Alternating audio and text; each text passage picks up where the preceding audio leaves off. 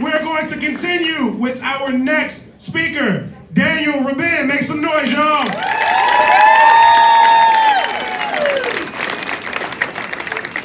Daniel Rabin, make some noise, y'all.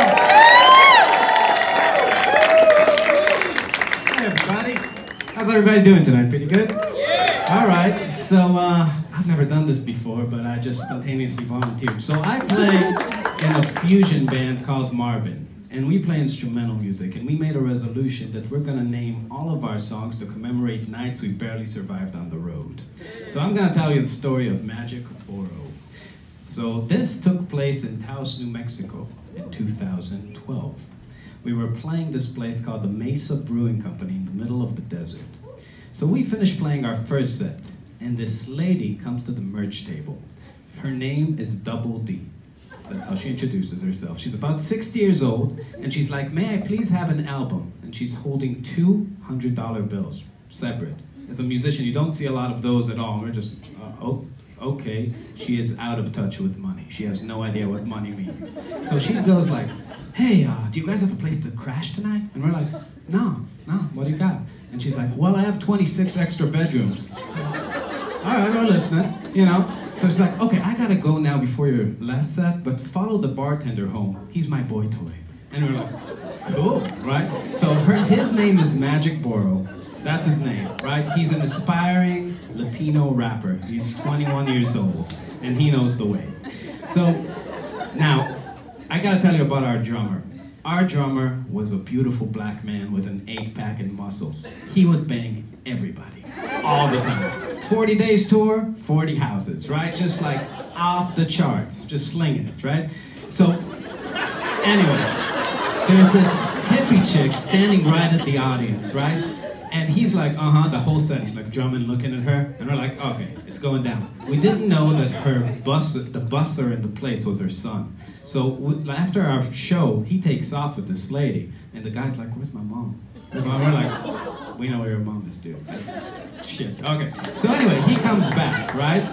And the mom promises just, uh, the drummer, um, she promises the drummer a plant of weed, right? So we take off out of this like you know place in the desert in a convoy.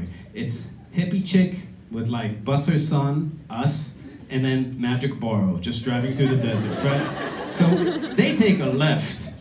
And there's no road. It's just like the desert in New Mexico. We're like, okay, you know, and we're just like, there's no electricity. It's a shanty town. And we're driving for miles, right? And all of a sudden you start seeing these like dimly lit hippie shacks.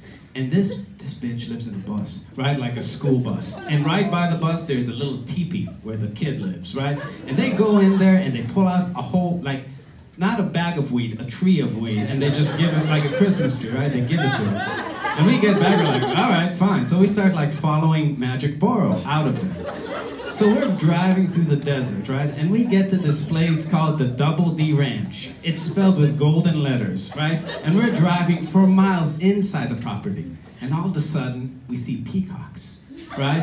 And there's a fucking giraffe. Like a, gi- a, a real giraffe just hanging out, right? And we get into this mansion, and the couches are half Rolls Royce, half couch. Half Lamborghini, half couch. We're like, what country is this? You know, apparently this lady is like the niece of the guy who owns Shell, and this was a birthday present for her. She was very wealthy.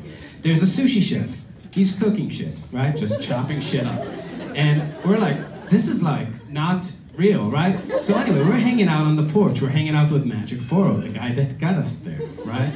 And Magic Burro is just talking shit, right? Like Double D is in there. And, you know, since our rhythm section is black, he's trying to like impress them because he's like, you know, I don't know, I think something, when, you, when you're an aspiring hip hop artist, there's like a part of your brain that's like impress the black folks, right? So, you know, he's just trying to be like, oh, I don't care about that bitch. It's like just money, like blah, blah, blah, blah, blah, you know, just talking shit. And we're like, this is not so cool, but we're like smoking this like Christmas bush. We're like, okay, we're gonna see what's happening. So, you know, anyway, she like, she like calls him, she's like, magic! And he just runs inside to do his deed. Like eight minutes later, he's back, talking shit, right? Didn't stop, didn't take a breath. He's like, I don't give a shit, like blah, blah, blah, blah, blah, you know, just talking like that. So anyway, our drummer just, nope, our drummer, uh, goes to the bathroom, right? And we're all just hanging out. And all of a sudden, we start hearing this thing after 10 minutes. Sounds like this.